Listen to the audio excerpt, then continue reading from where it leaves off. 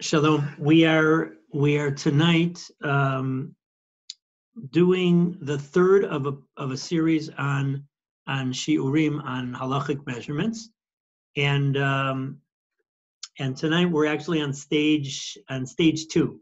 The first two shiurim we discussed whether the topic of shiurim of halachic measurements is a biblical level or a rabbinic level uh, topic and uh, it involved resolving some seemingly contradictory sources.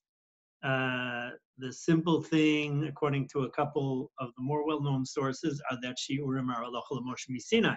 On the other hand, which is clearly biblical. On the other hand, there's there's uh, there's a, uh, a Gemara in Brachos, according to one Girsa, says that Shiurim are Drabanan there's a uh, a Gemara in Yoma that implies that only shiurim about punishments are are uh, are halachah Moshe Sinai, and there is a um, there is a Yerushalmi which clearly says that shiurim are are uh, midrabanan that shitas Rabbi. And Rav Asher Weiss's uh, resolution again, there were there were a number of other resolutions in the in the Achronim uh, but what we saw last week was Rav Asher Weiss that shiurim are halacha Moshe Sinai, but nimsar hadavar lechachamim was given over to the chachamim to determine exactly which shear is for which is for which thing. Uh, and there's some sources that are very hard to escape on that. One of them, for instance, is that uh, chachamim were misha'er that a koseves hagasa that that date was the size that is miyashiv dato shaladam that settles a person so that it's no longer considered inui on Yom Kippur. It's no longer considered afflicting yourself. It sounds like the Chachamim determined that shir. But if the shiurim, that's one of the things that's listed as Allah Moshe Sinai shir. So again, his approach uh, resolves it well. Okay, now now we're going to get to the the nitty gritty, which is uh, today and and next week, God willing, we'll learn about the, big, the big, big machlokas uh, amongst the achronim about how to calculate halachic measurements. And to, today, God willing, we'll see the core sources.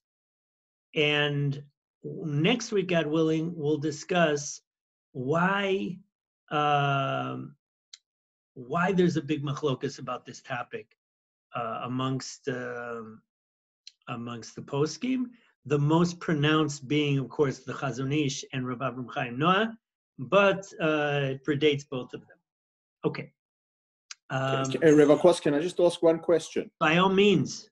So, what, as a fundamental question, why not start out with a, an actual measurement that is like empirical and work from there rather than like from Kabaitza, Kazais, oh, whatever?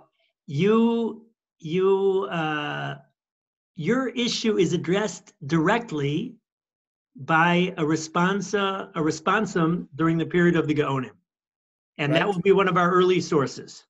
Right. So God willing, you'll you'll uh, you'll get an answer to that question. Okay, this is the way the article looks. The Rav Asher Weiss uh, has has a uh, a tshuva on this, a six or seven part tshuva uh, in his responsum. This is the third section. Um, last time we were building on an article in the Minchas Asher on, on Parshas Ekev, Eretz Chita Oseora, and uh, this year and next year, next year, God willing, we'll be dealing, we'll be building on this um, this uh, um, this tshuva. We are still, again, we're still calling it the Achronim Chabura, but uh, we are uh, these last two. He he uh, he guides us through the sources on this topic. Okay, um, there's a there's a Mishnah Maseches Kelim, which which discusses different shiur and different halachic measurements. Again, it, it opens up with a with a measurement that that is relevant for Kalim about the size of a pomegranate. But then it goes through three of the more well-known shiurim, Kabetza, Kigrogeres, that's for Hilchos Shabbos, and Kazayas. And it says, it, it tells us how to, how to how to determine how big a kibetza is. Now again, kibetza, the size of a betza, that's for instance for tumas ochlim, uh, for what size of uh, food is uh, is uh, is makabel tuma is is uh, susceptible to tuma tuma.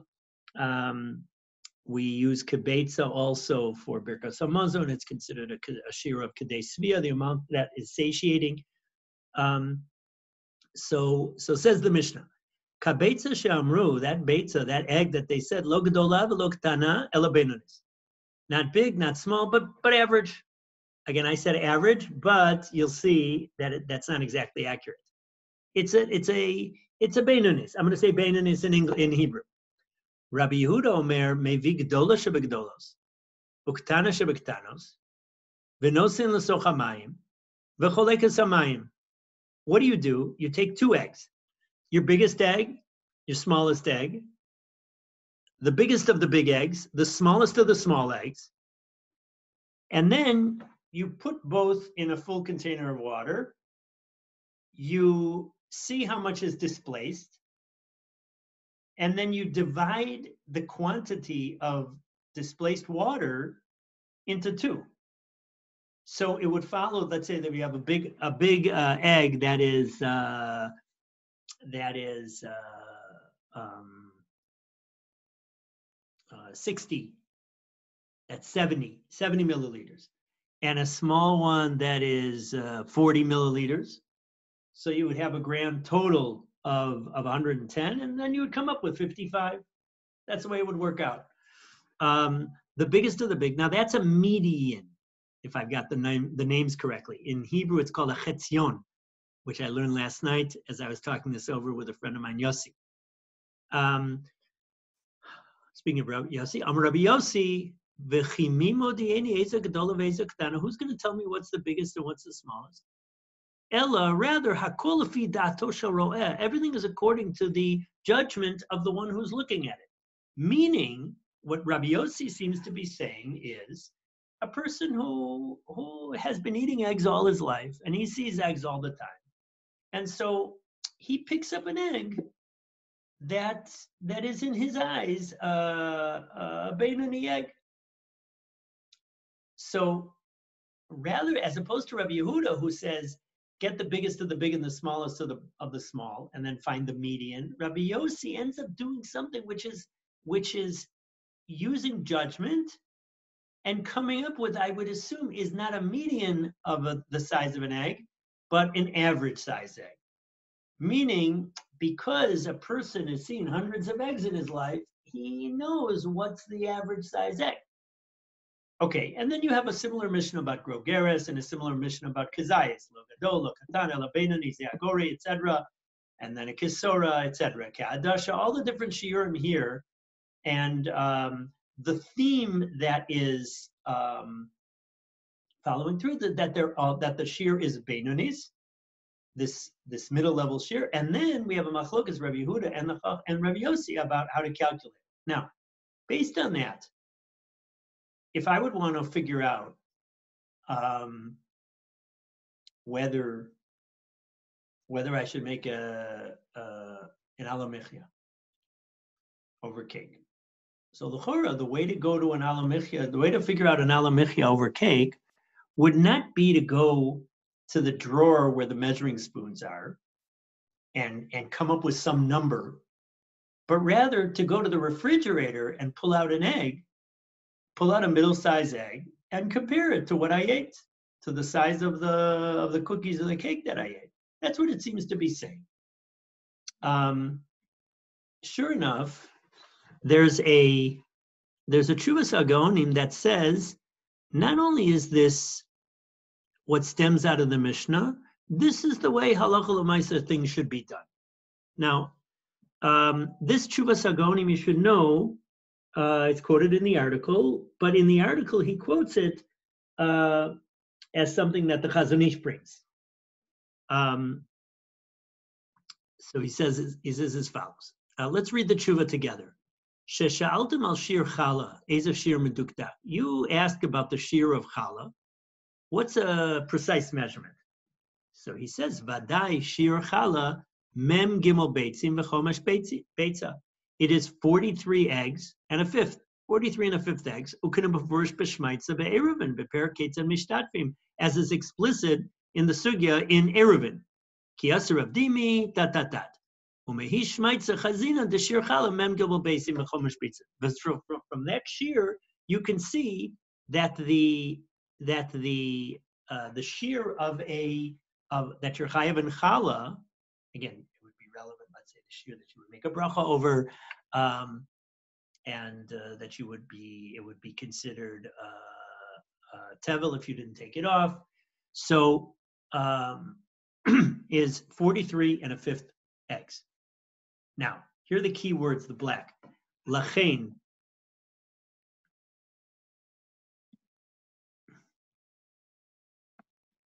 Lachain natna lanu haTorah shiur ba'beitzim u'va'perot. Therefore, the Torah gave us the shiur, the amount in, in eggs and fruit, in honor of Tu B'Shvat Derech Chagat, which began already here. Uh, it's also my father-in-law's uh, yurtzeit, uh, Yitzchak ben Chaim Shimon. So, v'lachin nitna lanu, natna lanu Torah uh, shir b'beitzim v'peros. The Torah gave us the amounts in eggs and fruit like like uh, like uh, like an olive size, like a date size, like a like a fig size. Shedivrei sofrim al har Sinai nitnu. The words of the sofrim. Now the sofrim is Chazal.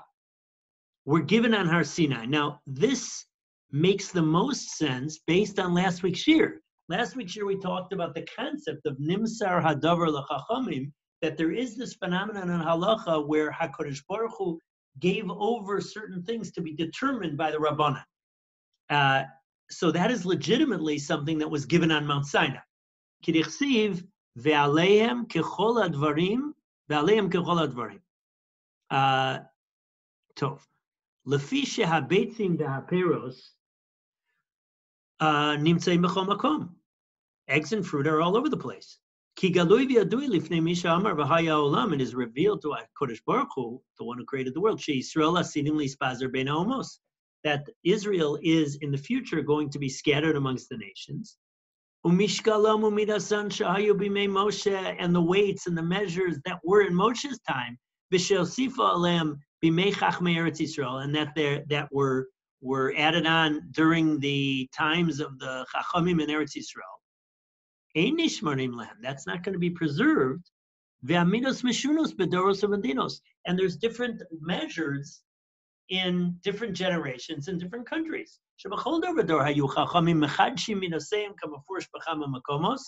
And the Chachamim would renew the, the measures, like is clear in a number of places, and that's that's something that uh, the Gemara speaks about. Different uh, the Amma one, the Amma one generation, the Amma of another generation. And um, okay, now this is uh, like it is not just that. Let's let's say the we'll say the Hakira. It's not just that the there's a particular amount which is measurable in every generation, which is an objective, unchanging measurement that should be the same in Moshe's time, in uh, in Rabbi Akiva's time, in uh, in the Rashba's time, and in the Chofetz Chaim's time. Uh, some particular amount that would be measurable in whatever measures would be in every generation. That's wrong. That's not the case, says says this uh, this tshuva. This tshuva says, what's the size of a of a of a kibetza? The size of an egg. It's not that the betza is identical to a particular measure. X uh, X milliliters or or uh, or X ounces. No. uh, or X drams or something else that might be in some other generation, whatever measures there were in all the different generations, that's inaccurate. Rather, the size is an egg. And so wherever, and, and why did HaKadosh Baruch Hu do that? Why did, why did, uh, you know, why did Chazal who, who, uh, who determined this this uh, this din deoraisa. They were the ones that Hakadosh Baruch they were so to speak reading reading Hashem's mind. So uh, again, I, I it's un, it's not it's not 100 percent clear. This could be it could be that the Gonim here mean when they say divrei sofrim. Sorry for just diverting the, the digressing for a moment. When it says divrei sofrim, it could be that he means literally halach l'moshe Sinai, meaning that this was a God dictated uh, law. He doesn't necessarily have to be saying that. I don't think that's. Uh, I don't think that's necessary. So, um, but the Torah gave us eggs and fruit, and wherever you are, whenever you are measuring, you just pick up an egg, check it out, and that's enough. Gomarno. Um, now, that's the that's his approach, uh, and uh, this is a very plausible approach with a very with a very good explanation. And that's really um, what uh, the answer the answer I think to Ashley what you asked in the very beginning of the year. I think he's addressing this this directly accessible shiurim were chosen because weights and measures, different, different, different, uh, if you will, I'm using the word loosely, objective measurements um, are going to change amongst the generations in the different countries. And that's not going to be something that Am Yisrael Netzach is going to be able to use. And um, and so and so Beitzim and Peros, eggs and and olives and and and dates and figs and and beans, those are uh, transferable everywhere. Those are things that are going to always be able to be used. Now, that's the that's the uh, the the second thing I wanted to the the, the second thing I wanted to bring. Number one is, uh, key source number one is the Mishnah in Kalim. Key source number two is the Chuvas Agoni.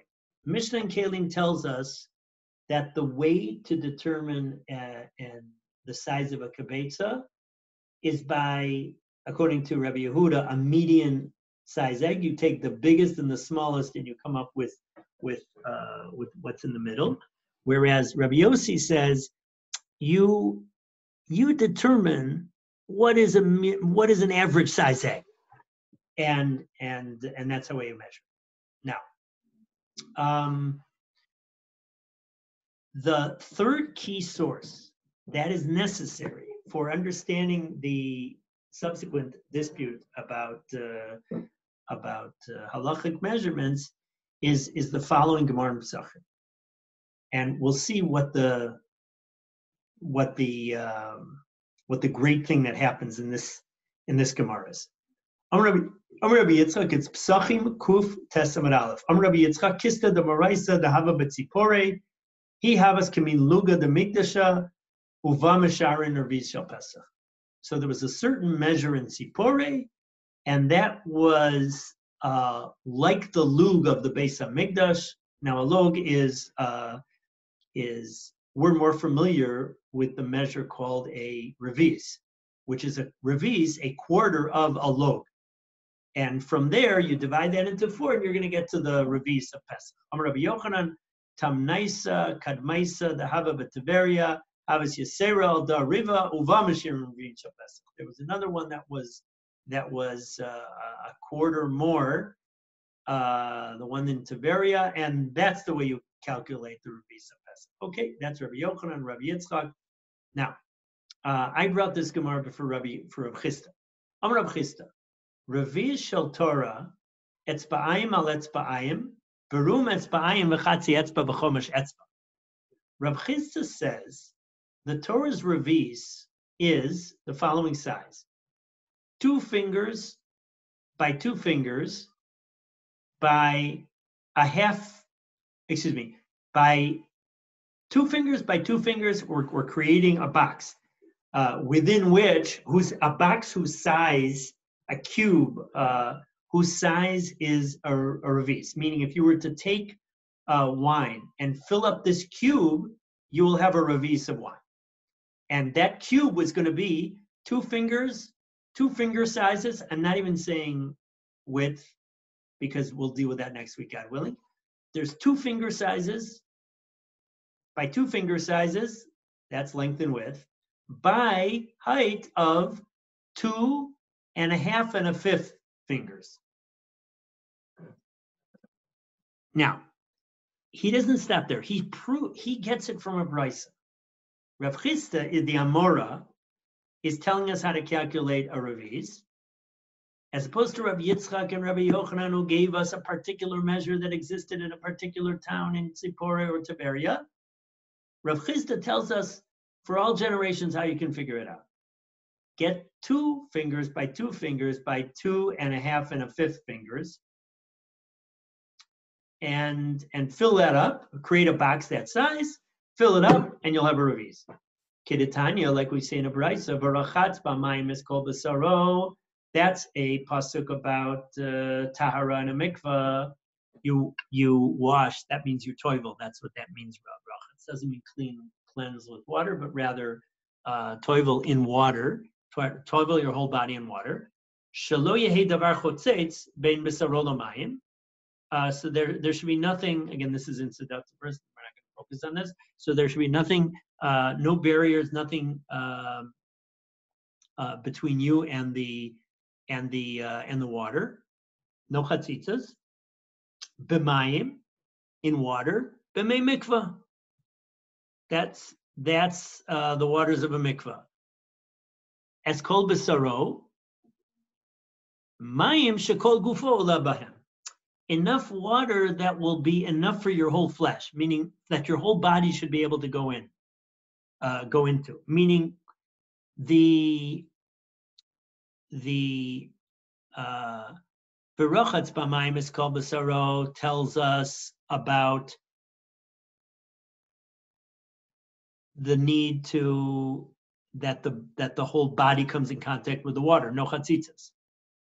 B'mayim tells us what the water should be like. It's water, it's may mikvah, gathered rainwater. And as Kol Besaro tells us the size of that water. Shekol Gufo Olebhem. Enough water that your whole body could enter. The Kamahin, how much is that? Ama al Ama Barum Shalosh Amos. Uh, if you were to create a mikvah that has one amma by one amma by three ammas and fill that with water, that's enough. V'shi'aru chachamim shir me mikvah arba'im sa. And the chachamim calculated that the amount of the waters of a mikvah, meaning that size, which is one by one by three amas, which comes from the pasuk as called bisaro, because the water that you toive with has to be enough water that your whole body could enter. It has to be the kind of, it has to be an immersion, not just a washing. And so, uh, and and that size is an amma by an amma by three ammas, and the chachamim uh, determined that that was 40 sa'ah, which is a certain measurement. Now it sounds like Rav Chisda got what he got from that brisa. Now, how did he do that? So, uh, and that's the the calculation I like to do. Um, and there'll be uh, and and we'll end with the calculation. I'll introduce the next step, which is going to be God willing next week's year, which will be the the, the final stage. Um, Rav um, Rav Chisda saw that the size the, the size of a mikvah is an amma by an amma by three ammas, and you fill that with 40 saw. So he made the calculations that said, by the way, if you figure that out, you could you could theoretically go from 40 saw and convert it in a way that you could figure out how much revis is. because you would just hmm. do the you would just follow these proportions and you would come up to on a mini level the amount that a revis would fill. Okay. Now, why is this Gemara so important? Because before this Gemara came, before the Gemara in Pesachim Davkuf test came, the we have a list of different shiurim. And you'll notice there's there's a group of shiurim that are length shiurim, ama, tefach, mil, etc., etzba, and then there's a group of shiurim that are volume shiurim, a kibetza, a kazayit, a revius. So theoretically, those were all independent. And if you followed the Chuvas HaGaonim, you would say that uh, similar to the way when you when you want to know how much to, how much can I eat so that I'll I'll definitely have kedei svia, I'll have a kibetza so that I'll be able to make sure that I'm benching on a doraisa level. So you would go get your egg. And similarly to if you would want to uh, to to calculate uh, the height of a um, of a uh, of a mechitza of some partition, some some uh, wall, in order to determine uh, the eruv. So you would use tfachim and amas. You would use length measurements, and you you measure it with your arm, or you you you uh, you get a tape measure, measure your arm, and then create some kind of a some kind of a, a way of measuring. And one group of shiurim are shiurim of length. Another group of shiurim are shiurim of volume. And each one has something in the world that you can measure by a hand, an arm, a finger, an olive, uh, an egg, a date, a fig, etc. But this Gemara does something, Rav Chisda does something revolutionary. He unites the shiurim of volume with the shiurim of length. And that's what the pasuk does. That in amma by an amma by three ammas, the chachamim measured was our 40 sa'ah. Rav Chisda measured based on that, based on that that brisa about the mikvah, he made the calculation that a revis is two etzbas by two etzbas by by two and a fifth and a, and a two and a half and a fifth etzba. So he he connected the volume measurements with the length measurements. Now, I'd like to I'd like to follow through with the calculation. Um, and uh, I'd like to, I know there is a different way of figuring this out. What I want to do is I want to show how does it come, how do you go from the Brisa to Rav determination. So we go as follows. Uh, now, there's going to be a little mathematics. Uh, two etzbas by two etzbas by two and a half and a fifth etzba. Well, I figured, what's our what's our smallest common denominator? Tenth of etzbas. So that's because to figure out a uh, a half plus a fifth of an etzba, well, that's five tenths plus two tenths. So it ends up that this is going to be 20 tenths of fingers by 20 tenths of fingers, meaning your, your unit that we're going to measure with, and this is going to help us be able to calculate this, is the smallest common denominator, which is tenths of etzbas, tenths of fingers. So two fingers is 20 tenths of fingers and by two by two by 27 tenths because two etzbas plus a half, which is five tenths, plus a fifth, which is two tenths, that ends up with seven tenths. So that's 27 tenths. So a revius is 20 tenths of etzbas by 20 tenths by 27 tenths. Okay, now what about the mikvah? Let's calculate the mikvah in tenths of etzbas also. Well, it's one amma by one amma by three ammas. Well, one amma is six tfachim. That's a handbreadth. One tefach is four fingers. And so it ends up that every amma is 64 fingers. So an amma, which is now 64 fingers, is 24 fingers. Sorry, sorry, I don't know why I said 64. Every amma is 24 fingers. Well, once again, that's 240 tenths of fingers because what we want to do, the shita that we're going to do, we're going to figure out, we're going to show how how Rav Chisda's calculation works out is we're to we're to break everything down to the lowest common denominator, which is tenths of etzbas. And so we're to take the, uh, the mikvah measurement and the revius measurement and calculate everything in, in one unit, which is tenths of etzbas. Well, how many tenths of etzbas is is an amma uh, is an amma? 240 tenths of etzbas because it's 24 etzbahot, and each etz and each etzbah has 10 tenths. So it's 240 tenths. And then a mikvah is 240 tenths of etzbas, which is an amma, by 240 tenths of etzbas, which is an amma, by 720 tenths of etzbas, which is three ammas, and that's that's going to be able to be filled with 40 saw, which is the size, which is the amount of water that fills the mikvah. A Ravi, says Rav Chisda, from there Rav Chisda was able to extract the following. 20 tenths of etzbas by 20 tenths of etzbas by 27 tenths of etzbas is a revis.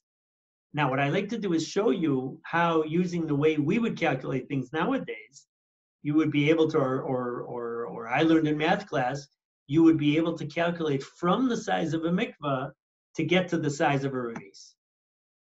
Well, you're going to have to now the same way we took the the uh, length measurements and we brought them down to their their lowest common denominator, which is tenths of etzbas, and we we we describe the whole thing in tenths of. So similarly, by the by the volume measurements, we're also going to have to we're going to have to go from 40 saw. We want 40 saw and one revis to be described in the same unit. Well, one saw is six kavi. That's a measure. One kav is four luging. That's a measure. One lug, of course, is four revis because a revis, the revis means a quarter of a lug. Well, then it ends up that every saw is 96 revi'iyot, 96 quarters, because it's it's four times four times six. Well, then 40 saw is going to be a grand total of 3,840 revios. I just take 96 times 40. So now we have all the volume measurements in reviuses, reviiot, that's the lowest common denominator, and all the length measurements in tenths of etzbas, which is the lowest common denominator. Well, now if we set up an equation, an equation, it's going to be easy to figure out how Rav Chisda got what he got. Because a revius is 20 by 20 by 27 cubic tenths of an etzba. And 40 saw is 240 by 240 by 720 cubic tenths of an etzba. Well, how much is that? Well, 20 by 20 by 27 cubic tenths of an etzba is going to be 10,800 cubic tenths etzbos. It's about Whereas 3,840 reviot, the way we calculate it, because remember, 40 saw we we measured was 3,840 reviot, is 240 by 240 by 720 tenths of etzbas, which comes to a grand total of 41 million 472,000 cubic tenths of its etzbaot. So now, uh, if you you can take Rav tiny little box and see it in, in these in these micro units of 10th etzba by 10th etzba by 10th etzba, and see a whole mikvah in those same units of 10th etzba by 10th etzba by 10th etzba. Well, now it should be easy for us to be able to calculate how much revi it is. Because if we just take 41 million 472,000 divided by 3,840, we should be able to get the size of one revit. And sure enough, it works out because 41, 47 to 472,000 divided by 3 and 3,840 is 10,800. So uh, that's how Rav Chisda, if he was using our the way we usually make calculations nowadays, that's the way he would have figured out how much one one one ravine is. He would have he would have uh, come up with uh, again for our sake we wanted we we simply had to uh, see how many revi'iyot there are, are in a mikvah,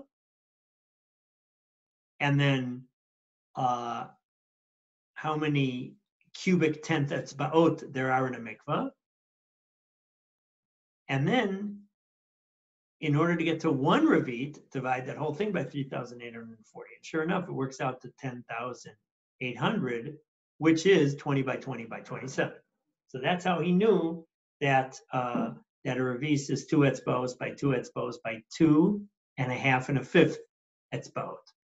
The way in my in our language, 20 tenths of etzbos by 20 tenths of etzbos by 27 tenths of etzbos. Okay, now that's the um, that's the last um, last stage of today's calculations. Now, I want to set us up for, for God willing, next week's share. The we painted a very simple picture of using of calculating shiur.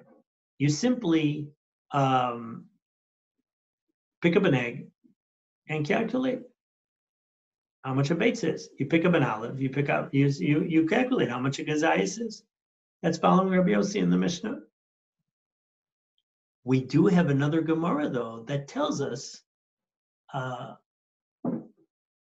how to figure out how much a revis is. And because a, a log is not a uh, is not a familiar thing. A log is one of those kinds of abstract measurements like a pint or a quart or a milliliter, etc. It's a log. It's not something you go find in nature. You can't just go. So what did Rav what did Rav Chisda do for us? He translated it into accessible measurement, which is etzbaot, meaning you don't you don't have to rely on a certain uh, the the standard that is in Tzipori or the standard that is in Tiberia Rather, anybody anywhere could figure out how much a revis is. All he has to do is if he's got fingers, so he can use his fingers. And if he calculates two by two, the next one's going to be a little more fine measurements, but two and a half and a, and a fifth of an etzba, he's going to be able to figure out how much a revis is. And that anybody can do anywhere, even if you're far away from Tiberia or Tzipori or, or, uh, or anybody who has a, a, a, a duplicate of those a replica of those of those measurements. So what Rav Chisda told us is uh, a way of a way of of using accessible measurements to figure out the unaccessible measurement. Okay, what we're going to find out next week was the was something we mentioned once when we uh, when we learned about the Noda Yehuda, the Noda Yehuda's experiment, which forced him into rethinking the whole topic of of uh, of shiurim.